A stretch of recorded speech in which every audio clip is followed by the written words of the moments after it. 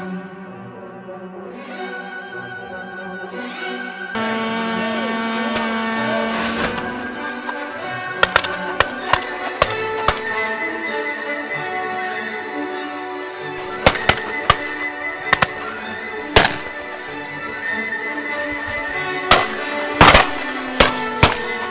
is the Gnat. Uh, it's an, a radio-controlled aerial target drone uh, capable of speeds up to from ranging from sort of 20 miles an hour, maybe up to about 100 miles an hour. It's a team event for a team of score, so usually three to four or five guns in a team uh, would shoot the same target at the same time.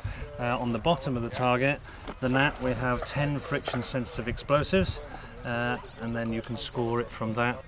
They're very much like a theatrical flashbang, so yeah, we get some uh, nice uh, pyrotechnics going off, especially if you get two or three going off at the same time.